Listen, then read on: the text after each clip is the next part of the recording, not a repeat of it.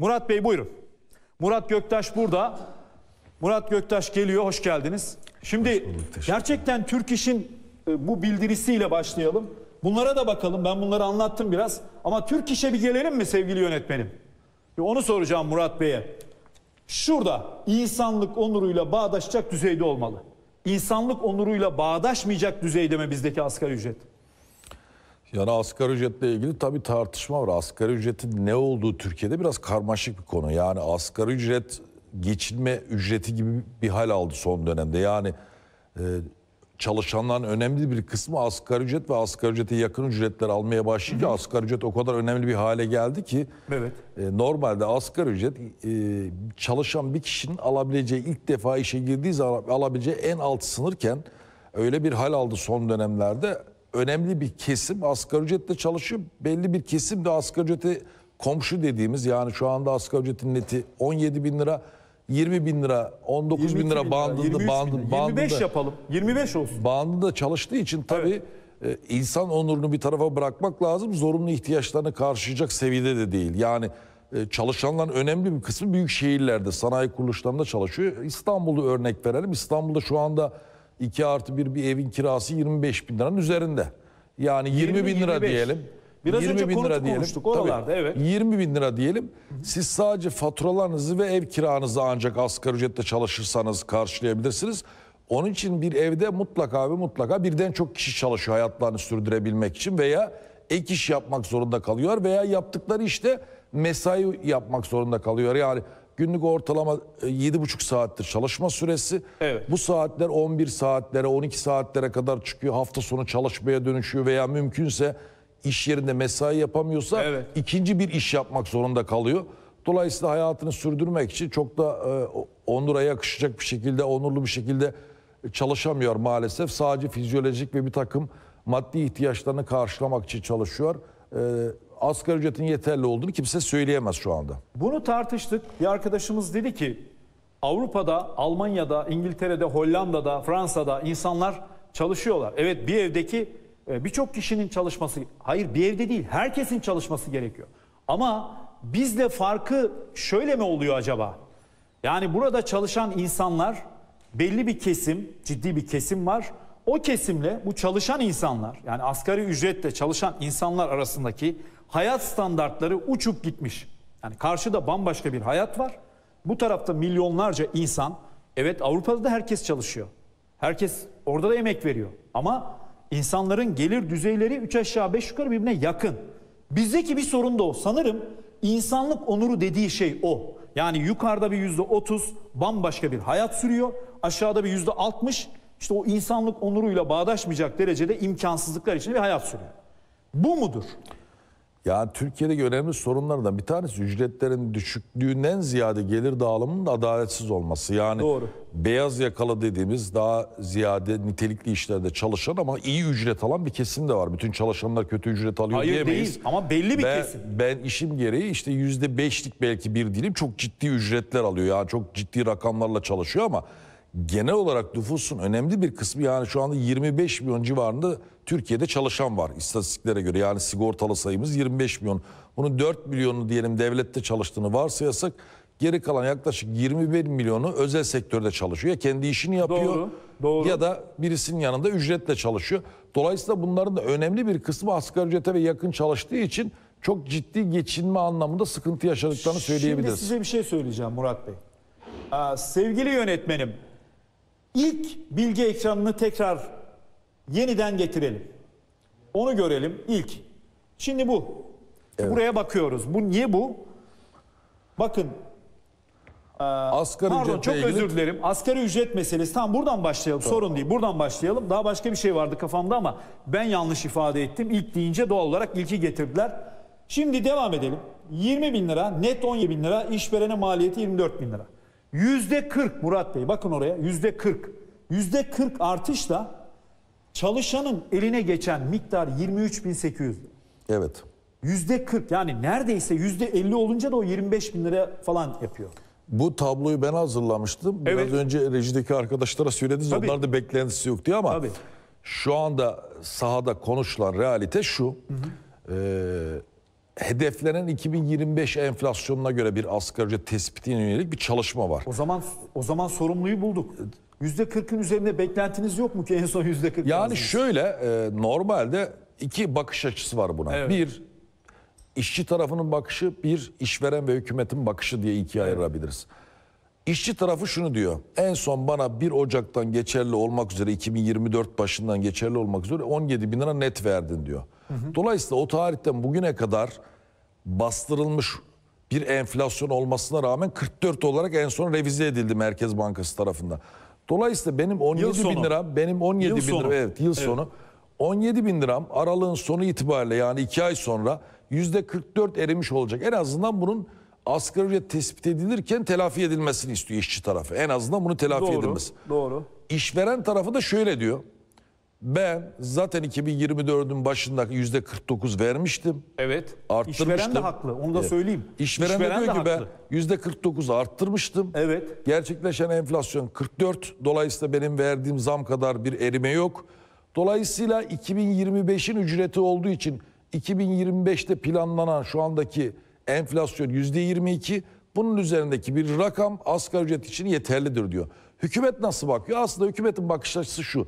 Asgari ücretteki bir artış devletin kasasına para girmesini sağlıyor. Nasıl sağlıyor? Bir, siz yüzde yirmi değil de yüzde kırk yaparsanız prim gelirleriniz yüzde kırk artar. Artıyor burada işte Çünkü- görünüyor.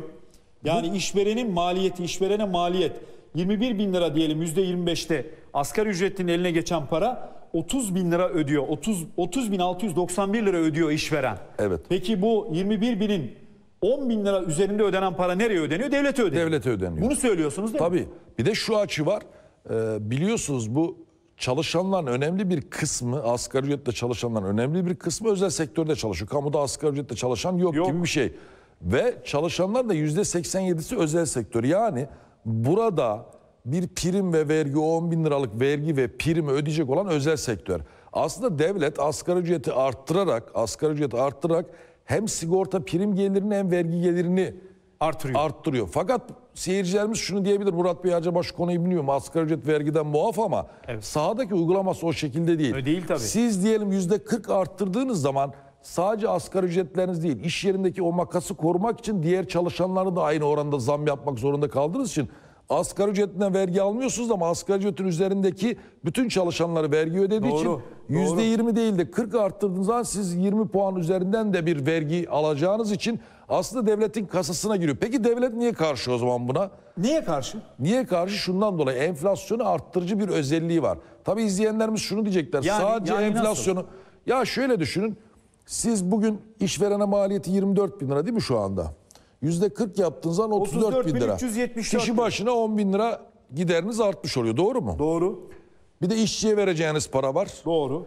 Dolayısıyla ne oluyor? Siz bir mal veya hizmet üretirseniz o Ha, işçiye ilave mal... para içinde onun Evet. işte. Evet. İlave maliyetiniz 10 bin lira arttığı için Evet. ilave maliyetiniz ürettiğiniz mala ve hizmete zam yapmak zorundasınız. Fakat Türkiye'deki temel sorun şu. Diyelim buradaki artış ne kadar? %10'luk bir artış var diyelim. Nasıl anlıyoruz onu? Diyelim bir meta üretiyorsunuz veya bir peynir üretiyorsunuz ya en basitinden peynir üretiyorsunuz. Peynirin içerisindeki işçilik nispetiniz %10 diyelim sizin. Geri kalanı süt, işte elektrik, kiranız varsa kiranız, işte diğer genel yönetim giderleriniz, araç giderleriniz. Evet. Asgari ücrete %25 zam yapılınca ne olur? Sizin %10'sa peynirdeki işçiliğiniz %10'u %25 arttırmanız gerekir. Yani Doğru. 10 bin liraysa 12.500 lira yapmanız lazım Doğru. ama maalesef bizim üreticilerimiz de %25'i direkt en minimum %25 bazıları daha fazla olarak hemen etiketlere yansıtıyor. Dolayısıyla bu ciddi şekilde Peki ne enflasyon... yapsın? Hadi E, cevap da verelim. Ne yapsın peki? Yansıtmasın ne yapsın? şöyle yansıtmayacak. Eğer Ocak ayında asgari ücret artıyorsa Evet. sizin işçilik gideriniz artıyor. Bunu yansıtın. Yansıtın. Ne kadar yansıtırsınız? Sizin toplam ürettiğiniz birimin içerisindeki İşçilik mi? Peki o arada elektrik, su, diğer zamlar, O zam geldikçe yansıtırsınız ama ham Ocak'ta... maddeye gelen zamlar onları ne yapsın? Nereye Ocak, yansıtsın onu? Ocak ayında Ocak ayında diyelim ürettiğiniz şeye süte zam gelmemişse yansıtmayacaksın. Sadece işçilik zamlanmışsa, asgari ücret zamlanmışsa o da yüzde 25 ise ve sizin ürettiğiniz ürünün içindeki işçiliğe bakar onu yüzde 25 arttırırsınız. Bu hakkaniyet olan budur ama siz Ocak ayında diyelim en son artışınızı yaptıktan sonra süte zam gelmemiş, enerjiye zam gelmemiş, kiranıza zam gelmemiş diyelim. Siz tutup da %25 asgari ücret arttı diye peynirin kilosu diyelim 300 lirayken siz tutup bunu 400 lira yapıyorsanız burada da hakkaniyet açısından uygun değil. O zaman Değil yapılması tabii, gereken değil, şu. Değil ben oradaki cevabı alamadım. Yani peynir 300 lira, Evet. asgari ücret 25 bin lira oldu. Şimdi peynir üreten bir ekip var değil mi? Yani Mandıra'da peynir yapıyor bu arkadaşlar. 8-10 kişi çalışıyor. Onların hepsine 17 bin lira veriyordun 25 bin lira oldu Evet. maaşları. Şimdi bu arada e, siz sadece peynir mayasına, süte, şuna buna zam gelmezse sen de artırma diyorsun. Peki bu maliyeti kim karşılayacak? Şu her yüzde elli her bir kişiye Ben- verilecek ben maaş zammını nereden Ben karşılayacak? arttırmayın demiyorum. Daha rahat anlaşılması için Tabii. şunu diyeyim. Peynirin kilosu 100 lira diyelim. Evet. %10 işçilik var diyelim peynirin içerisinde maliyet. 10 liranız maliyet, işçilik maliyetiniz. %25 ya da %40 artarsa ne olur? 10 lira olan 14 lira olur artık maliyet olarak. Ama siz tutup da %25 arttı diye sizin 100 liranızı 125 lira yapamazsınız. Çünkü sizin artan maliyetiniz 10 lira. E iyi de mecliste mesela milletvekilisiniz. 120 bin lira, 140 bin lira maaş alıyorsunuz. Bütün bu değerlerin dışında birdenbire onu 200-210 bin lira yapıyorsunuz. Onu neye göre artırıyorsunuz o maaşınızı? Bu aynı zamanda toplumsal bir ahlak sorunudur. Evet. gerçekten tabii ki üreten birisi e, zarar etmeyeceği şekilde ve Tabii. makul üzerine kar koyarak bir hayatını sürdürmesi için, üretimini devam ettirebilmesi için bunu yapması gerekiyor. Ama siz bakıyorsunuz etiketler bir anda 100 lira aşağı geliyor. Şimdi 100 lira aşağı gelebiliyorsa ve bundan zarar edilemiyorsa demek ki zamanında çok fazla derecede kar elde edilmiş. Neticede ayakta kalabileceğiniz kadar. Siz ücretleri ne kadar arttırırsanız arttırın. Asgari ücreti ne kadar arttırırsanız arttırın. Eğer fiyatları kontrol altına alamazsanız Olmaz. enflasyonla mücadele edemezsiniz. Şimdi bir şey göstereceğim size. Evet, yine sizin hazırladığınız e, bilgi ekranı. Gelsin şu emekli memurla çalışan memur arasındaki fark. Şimdi Murat Bey, bunu buna katkınız var değil mi bu şeye? Evet, evet. Şimdi Benim buradan sizden izahat istiyorum. Bir memur 40.821 lira maaş alıyor en düşük. Yani 41 bin lira. 50 yaşında yaşı oldu 55 neyse emekli oldu. Ertesi ay maaşı 14.739 liraya düşüyor. Şimdi sorum şu. Hani bu işlerin uzmanı olarak size cevap verin. Gerçekten emekli olan memur bir ay sonra elektrik faturasında yüzde yetmiş, ev kirasında yüzde seksen, su faturasında yüzde doksan, gıdada yüzde doksan beş oranında indirimli mi alıyor ki bu 41 bin lira birdenbire bir ay sonra 14.739 liraya düşüyor. Bu emekli memur ne yiyecek? Burada zaten en büyük mağduriyeti memurlar yaşıyor, emekli memurlar yaşıyor. Neden yaşıyor? Daha önceden e, 8 bin lira seyyanen biliyorsunuz çalışan aktif memurlara zam verilmiş. Evet. Eskiden beri sistem şöyleydi. Memur ve memur emeklisi zam alacağı zaman birlikte değerlendirildi. 8 bin lirayı sadece çalışanlara verilince arada makas açıldı ciddi Açıldı. şekilde. O hata mıydı o 8 bin Tabii lirası? ki ya. ya 8 bin lira değil 8 bin lira emeklilere de verilmesi gerekiyordu. Şöyle düşünün ben geçen ay emekli oldum. Uzun yıllar kamuda çalıştım 25 yıl. Bunun Gerçekten emekli mi Tabii. oldunuz? Geçen ay emekli oldum. Ha, emekli oldunuz Evet. yani. Taze Bir- emeklisiniz. Bir örnek vereyim size. Uzun yıllar e, müfettişlik yaptım, Hayırlı ilçe müdürlüğü yaptım. Teşekkür ederim. İstanbul'da 10 yıl il müdürlüğü yaptım. Bana bağlanan aylık şu anda çalışan bir memurun yarısı kadar. Ve gerçekten normal herhangi bir iş yerinde çalışan sigortalı birisi gibi. Uzun yıllar İstanbul'u yönetmiş birisi olarak yani aldığım emekli aylığını söylesem çok komik kaçar. Söyleyin, Dolayısıyla söyleyin ne olacak ki ne kadar? ya 34 bin lira civarında bir aylık bağlandı. 34 Emekli. Evet, emekli. bak. emekli. Sizinki yine iyi. Yani iyi. Ama şöyle düşün. Şöyle yani, iyi yani. Hani normal şuralara baktığımızda iyi yani. 14.739 lira. Ha siz de diyorsunuz ki ben de elbette bir yönetim. Ben Şöyle- yöneticiydim. Bir daha Şöyle tamam kabul düşün. ediyorum. Özel sektörde, özel Tabii. sektörde bir fabrikada müdürlük seviyesinde bir şey yaparsanız şu anda bağlanan aylıklar aşağı yukarı 50-60 bin lira, 70 bin lirayı da buluyor sigortalılar için. Emekli maaşı. Evet emekli maaşı. Ben İstanbul'u uzun süre 34 yönettim. bin lira sizin. 34 bin lira aylık alıyoruz. Tamam devletimiz bunu layık görmüştür. Allah uygundur, bereket versin diyorsunuz ama Buradaki- düşük diyorsun. Buradaki ya şu makas 14.739 lirayı anlatın. bana. neden? Lütfen. Çünkü ben müfettiştim. Şimdi müfettiş maaşları 80 bin lira civarında çok düşük o da. Yarısı size. Yarı- Yarı- yarısının yarısından bile altına bile düşüyor. Yarısının altına bile düşüyor. Dediğiniz gibi bugün emekli olduğunuz anda bir te, sosyal hayatınız bir anda çok ciddi sıkıntı yaşıyor. Niye? Ona göre bir gideriniz var, ona göre işte bir harcamanız var, ona göre taksitleriniz var. Emekli olmaktan memurlar korkuyor. Neden korkuyor? Çünkü çok ciddi bir makas düşüşü var. Neredeyse yarıya Özal kadar zamanında düşüyor. mezarda emeklilik diye bir şey vardı hatırlıyor musunuz? Evet. Hani Özal'ın gözü tırmalanıyordu. Eme- mezarda mı emekli olacağız deniyordu falan. Hatırlayın. Evet.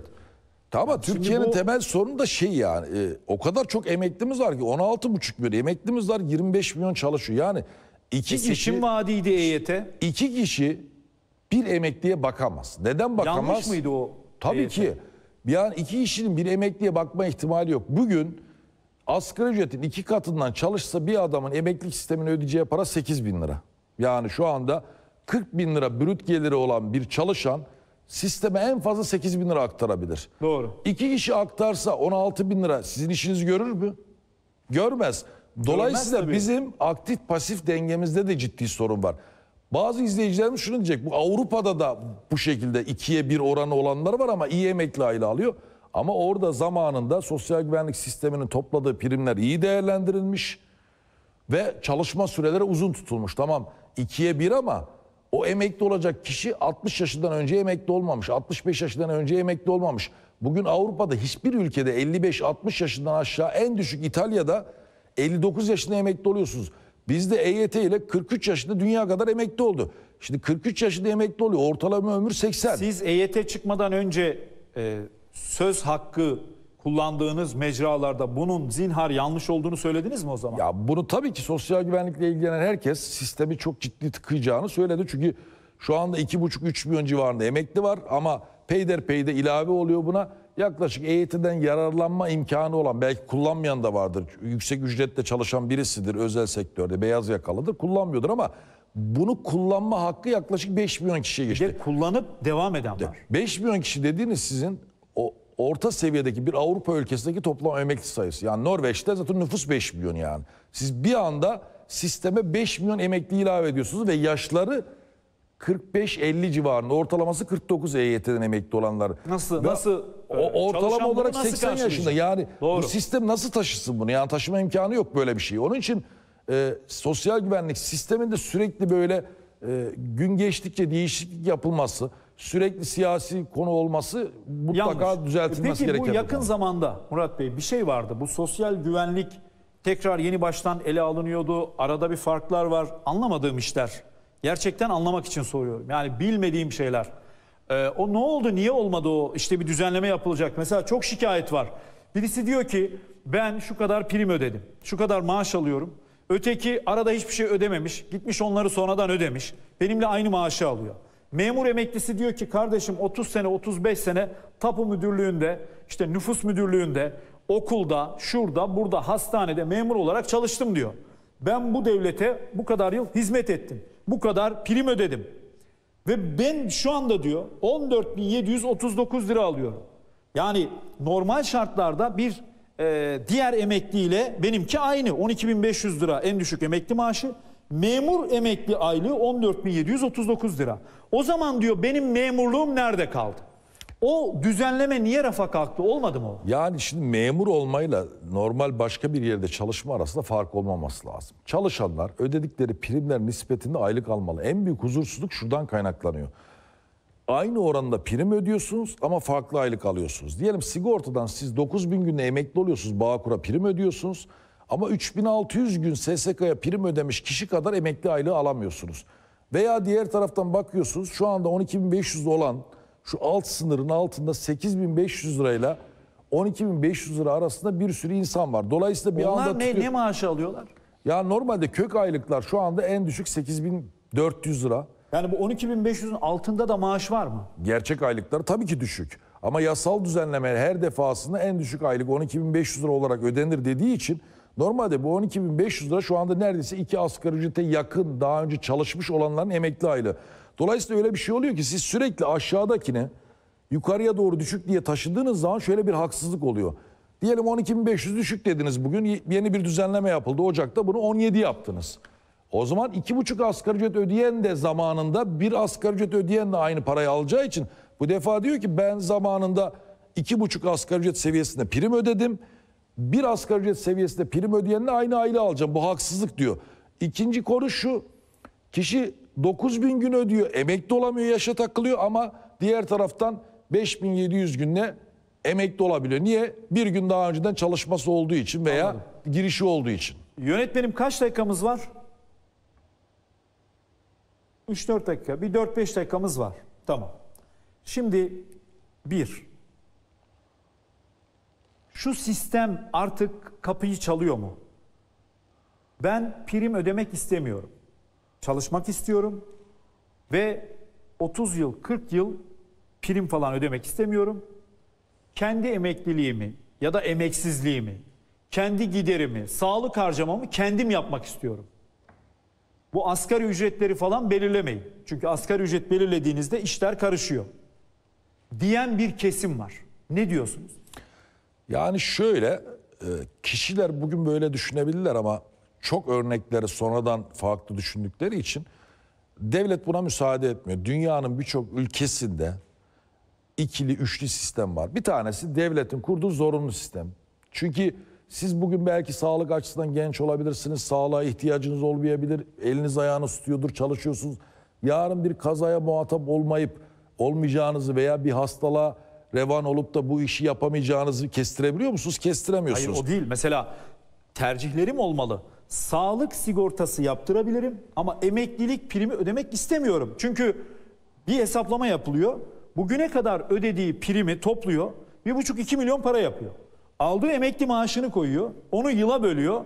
55 yaşına gelmiş. İşte 40 yıl daha yaşasa normal öbür parayı böldüğünde daha fazla geliyor. Yani fazla prim ödemiş, emekliliğinde onu bile geri alamıyor. Yani şöyle söyleyeyim, e, şu anda uzun süremiz olmadığı için söylüyorum ama teknik olarak Türkiye'de ödediği primi geri almayan yok gibi bir şey. Ya sağlık hizmeti olarak geri alıyor ya da emekli aile olarak alıyor.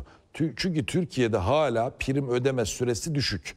Yoksa Yani- SGK nasıl zarar ederdi diyorsunuz? Tabii başka türlü yani ben bu kadar prim ödedim niye düşük alıyorum değil. Türkiye'de ortalama şu anda 5000 ile 6000 gün arasında özellikle EYT'den emekli olanlar 5000 günü yıla çevirdiğiniz zaman 14 yıl düzenli çalışan birisi 5000 günü dolduruyor. Ya 14 yıl çalışıyorsunuz. Evet. 35 yıl emekli aylığı alıyorsunuz. Yani dünyanın hiçbir yerinde bu sisteme devam ettirme imkanı yok. Bize Dolayısıyla güzel- böyle bize- bir şey söz konusu değil diye Bize düşünüyorum. Murat Bey güzel bir şey söyleyin ben de size teşekkür edeyim. Asgari ücret inşallah %25 minimum maksimum %30 gibi konuşuluyor ama asgari ücretin inşallah asgari ücretleri memnun edecek seviyede en azından bir 40'lara yakın bir şekilde seyretmesini. İkinci konu şu 12.500 olan alt sınır eğer yasal düzenleme yapılmaz ise Ocak ayında Evet. aşağı yukarı 8400 lirayla 10850 lira arasında kök aylığı olan hiç kimse zam almayacak 1 lira dahi. Mutlaka bunun yeniden revize edilmesi gerekiyor. Aksi takdirde yaklaşık 2 milyon kişi hiç zam almayacak Ocak ayında. Memur, mem- memur emeklileri de isyanda. Memur emeklilerine de haksızlık şuradan çalışanlara verilen seyyanen 8 bin liralık zammın güncellenerek bugün kaç lira oldu diyelim bu 12 bin lira olduysa mutlaka emeklilere de verilmesi gerekiyor. Çünkü e, emekli sandığı kurulduğundan bugüne kadar memurla memur emeklisi aynı oranda zam almışlar. İlk defa çalışanlara 8 bin lira ilave yapıldı. Emeklilere verilmeyince Makas orada açıldı. makas inanılmaz şekilde Aa, bu çok- açıldı. çok- çok büyük Ciddi bir bir makas. haksızlık. Çok teşekkür ederim. Yani 40 bin lira çalışırken alıyorsunuz 14 bin liraya düşüyor. Dolayısıyla bu rakamla geçirmek artık çok zor. Murat Bey çok teşekkür Ben ederim. teşekkür Eksik ederim. İyi yayınlar. Sağ olun. Emekliliğiniz de hayırlı olsun. Sağ olun çok teşekkür Ee, ederim. Emekliliğin keyfini sürün. Yine de 34 bin lira fena değil. Çalışıyoruz Türkiye'de herkesin yaptığı gibi emekli Yani olduk ek ama. iş yapıyorsun. Tabii çalışıyoruz. Peki, Çok teşekkürler. Çok Sağ teşekkür olun. ederim. İyi yayınlar Eksik diliyorum. Sağ olmayın bu olun. pazar gününe vakit Sağ ayırdınız olun bize. görüşmek üzere.